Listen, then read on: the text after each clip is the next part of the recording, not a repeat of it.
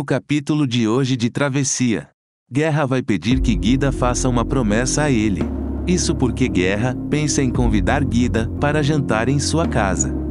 Com isso, ele vai instruir ela para responder às possíveis perguntas de Kiara sobre Débora. Para evitar problemas em casa, Guerra também aconselha Guida a como se comportar na frente de Kiara. O milionário teme que a Afer fale demais e coloque tudo a perder o seu segredo. Tomada pelo desespero, com a negativa de Otto referente ao plano de guerra. Brisa se oferece à guerra para fazer o depoimento que o empresário havia proposto para Otto. Enquanto isso, na investigação sobre o filho de Débora, Bia apresenta Nando e Ivan para Sara e Dante, considerando que um deles possa ser o filho da amiga. Mas o professor não fica muito animado com a história que Bia apresenta. Após Guerra aceitar a proposta de Brisa, ele pede para Cidália orientar a maranhense ao que falar no depoimento.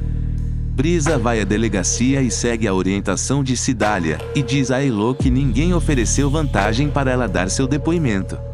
E no momento mais tenso do capítulo, Gil vai ao encontro de uma moça que conheceu no aplicativo e acaba caindo em uma cilada.